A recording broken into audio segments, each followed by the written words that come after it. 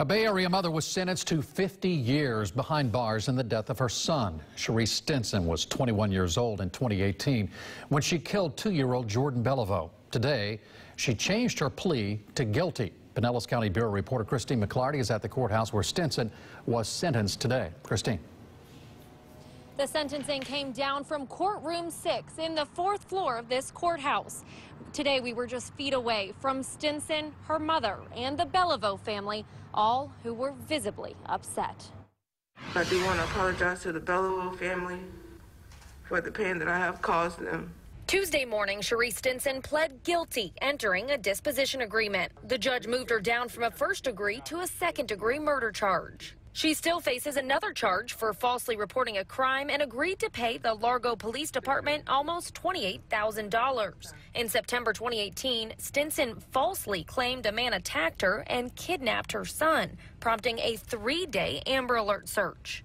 Stinson later admitted to hitting the boy, causing his head to hit a wall. An autopsy revealed Jordan died from blunt force trauma. Stinson left Jordan's body in a wooded area near the Largo Sports Complex. This won't bring Jordan back. We can only hold his memories. Stinson's mother, Mary Washington, pled with the judge to lessen her daughter's time. I would love the opportunity to get a chance to hold my baby again, to be able to fix a dinner for her.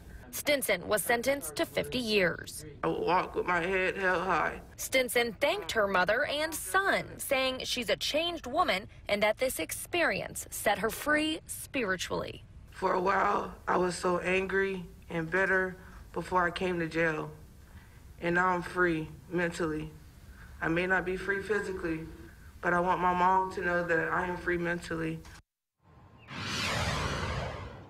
Stinson has served two years of her 50-year sentence. Reporting live at the Pinellas County Courthouse, Christine McClarty, 8 on your side. And Christine, she was pregnant with another child when she was originally put behind bars, right? Do we know where that baby is right now?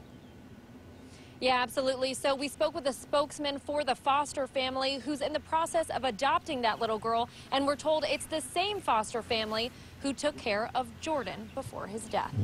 Christine McClarty live at the Pinellas County Courthouse. Thank you.